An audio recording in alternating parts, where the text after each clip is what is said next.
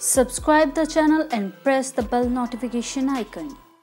ਬੇਸ਼ੱਕ ਪੰਜਾਬ ਸਰਕਾਰ ਨੇ 20 ਜੂਨ ਤੋਂ ਪਹਿਲਾਂ ਝੋਨਾ ਨਾ ਲਾਉਣ ਦੇ ਹੁਕਮ ਦਿੱਤੇ ਨੇ ਪਰ ਇਸ ਵਾਰ ਕਿਸਾਨਾਂ ਨੇ ਸਰਕਾਰ ਦੇ ਹੁਕਮਾਂ ਦੀਆਂ ਧੱਜੀਆਂ ਉਡਾਉਂਦਿਆਂ ਝੋਨੇ ਦੀ ਲਗਵਾਈ ਸ਼ੁਰੂ ਕਰ ਦਿੱਤੀ ਹੈ ਭਾਰਤੀ ਕਿਸਾਨ ਯੂਨੀਅਨ ਏਕਤਾ ਉਗਰਾਹਾਂ ਦੀ ਅਗਵਾਈ ਹੇਠ ਮਾਨਸਾ ਦੇ ਪਿੰਡ ਭੈਣੀ ਬਾਗਾ ਵਿੱਚ ਰੈਲੀ ਕਰ ਕਿਸਾਨਾਂ ਨੇ ਝੋਨਾ ਲਾਉਣਾ ਸ਼ੁਰੂ ਕਰ ਦਿੱਤਾ ਝੋਨਾ ਲਾਉਣ ਦੀ ਕਵਾਇਦ ਮਾਨਸਾ ਦੇ ਨਾਲ-ਨਾਲ ਬਠਿੰਡਾ ਸੰਗਰੂਰ ਤੇ ਪਟਿਆਲਾ ਜ਼ਿਲ੍ਹੇ ਦੇ ਪਿੰਡਾਂ ਵਿੱਚ ਵੀ ਵੇਖਣ ਨੂੰ ਮਿਲੀ ਹੈ ਉਧਰ ਭਾਰਤੀ ਕਿਸਾਨ ਯੂਨੀਅਨ ਡਕੌਂਦਾ ਨੇ ਵੀ ਝੋਨੇ ਦੀ ਲਗਵਾਈ ਸ਼ੁਰੂ ਕਰਨ ਦਾ ਸੱਦਾ ਦਿੱਤਾ ਹੈ। ਕਿਸਾਨ ਜਥੇਬੰਦੀਆਂ ਦਾ ਕਹਿਣਾ ਹੈ ਕਿ ਜੇਕਰ ਉਹ ਸਰਕਾਰ ਵੱਲੋਂ ਤੈਅ ਕੀਤੇ ਦਿਨ ਨੂੰ ਝੋਨੇ ਦੀ ਬਿਜਾਈ ਸ਼ੁਰੂ ਕਰਦੇ ਨੇ ਤਾਂ ਫਸਲ ਨੂੰ ਪੱਕਣ ਲਈ ਲੋੜੀਂਦਾ ਸਮਾਂ ਨਹੀਂ ਮਿਲੇਗਾ।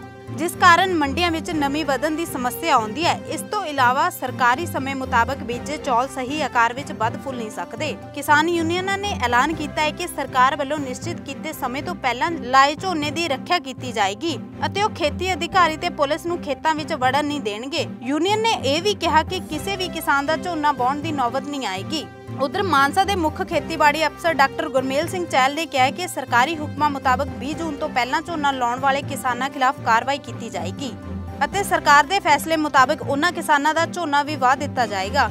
ਹਾਲਾਂਕਿ ਸੂਬੇ ਵਿੱਚ ਝੋਨਾ ਲਾਉਣ ਦੇ ਦਿਨ ਬਾਰੇ ਵੀ ਸ਼ਸ਼ੋਪੰਜ ਹੈ। ਲੋਕ ਸਭਾ ਚੋਣਾਂ ਦੇ ਪ੍ਰਚਾਰ ਦੌਰਾਨ ਮੁੱਖ ਮੰਤਰੀ ਕੈਪਟਨ ਅਮਰਿੰਦਰ ਸਿੰਘ ਨੇ 20 ਜੂਨ ਦੀ ਥਾਂ 13 ਜੂਨ ਨੂੰ ਝੋਨਾ ਲਾਉਣ ਦੀ ਮਨਜ਼ੂਰੀ ਦੇਣ ਦਾ ਐਲਾਨ ਕੀਤਾ ਸੀ। ਪਰ ਇਸ ਸੰਬੰਧੀ ਕੋਈ ਨੋਟੀਫਿਕੇਸ਼ਨ ਜਾਰੀ ਨਹੀਂ ਹੋ ਸਕਿਆ। ਇਸ ਕਾਰਨ ਖੇਤੀਬਾੜੀ ਵਿਭਾਗ ਦੀਆਂ ਨਜ਼ਰਾਂ ਵਿੱਚ ਝੋਨਾ ਲਾਉਣ ਦਾ ਸਰਕਾਰੀ ਸਮਾਂ ਅਜੇ ਵੀ 20 ਜੂਨ ਹੈ। ਹੁਣ ਵੇਖਣਾ ਇਹ ਹੋਏਗਾ ਕਿ ਸਰਕਾਰ ਇਸ ਸੰਬੰਧ ਵਿੱਚ ਕੀ ਕਾਰਵਾਈ ਕਰਦੀ ਹੈ। ਸਟਾਰ ਕੈਨੇਡਾ ਟੀਵੀ ਲਈ ਬਿਊਰੋ ਰਿਪੋਰਟ।